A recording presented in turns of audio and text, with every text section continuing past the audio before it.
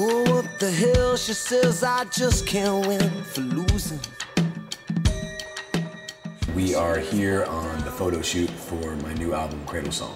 I'm here with Andrew McPherson, who is a, an old friend that I haven't worked with in years, and uh, and we're sliding back into the rhythm of things here in this beautiful labyrinth of a mansion somewhere in Venice.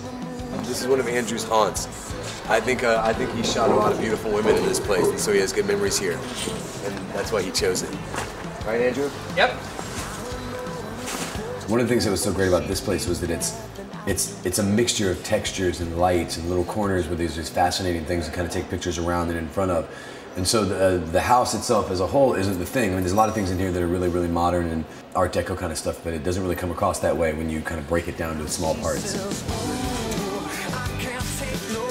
There's a, an underlying need to just get good pictures. I mean, you want to try and get some pictures that, that look great, that'll be usable for, for a bunch of different settings. But a lot of what we want to do here, we want to use for the album.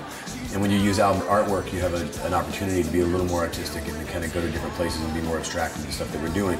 So in the middle of trying to take some traditional kind of you know press photos, we're also uh, managing to work in some really great stuff with just trying to use the architecture of the body, just using shapes, using uh, silhouettes versus uh, some you know juxtaposed against really stark light. And I think there, I think we're starting to see a theme that we didn't even know until we started. And now as we start to do it, everywhere in, in the house we find these little spots and we can create these silhouettes and these body images and these body shapes.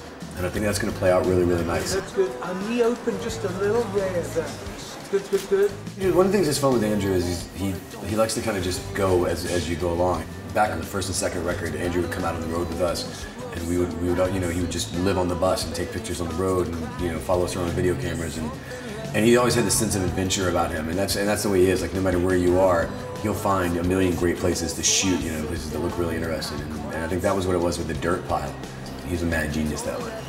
So hopefully when we're done with everything, it'll come together wonderfully and fit right inside of what is a CD that, that I hope you like as well. So um, hopefully you'll enjoy Cradlesong and you'll enjoy the, the music and the images and how they all go together to make your life just a little bit better.